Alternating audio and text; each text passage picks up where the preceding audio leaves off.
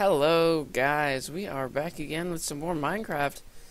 And this time we're gonna build like a little umbrella type thing. It's it's it's something I learned from someone uh, when I was building.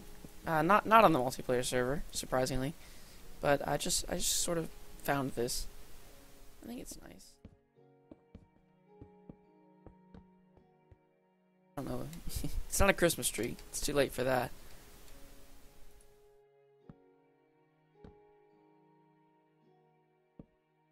But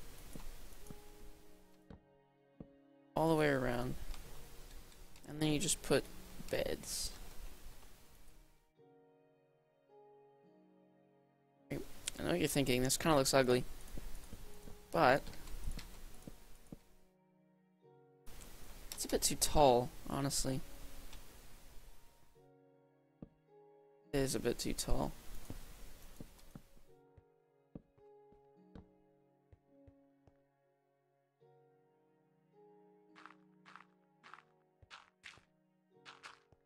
Better.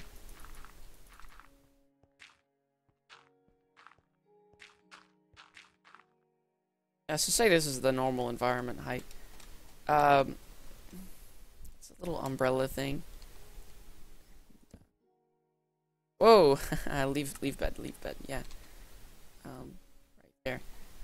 And then one more right here. Perfect. That's how you want it. Um, it's pretty good. It's a little umbrella. You can make it bigger if you wanted to. I don't really recommend making it bigger. It doesn't look very good from the top, but honestly, it looks pretty good from the sides. And you couldn't, I mean, you know it's beds, but it looks good. I mean, it's a it's a good looking thing. And, uh, and you can replace this with glowstone if you want to. Don't have to. I don't really recommend it. Yeah, I don't recommend that, but having like that kind of thing. Just having an umbrella with some beach chairs, you know. I mean, I guess next video I'm gonna have to make some beach chairs, but um, you know, if you have a beach house, this would be a nice little umbrella type type thing. Uh, yeah. So thank you guys for watching. Leave a like if you like that or this, but leave a like on that video if you like that, and leave a like on this video if you like this. Um, yeah.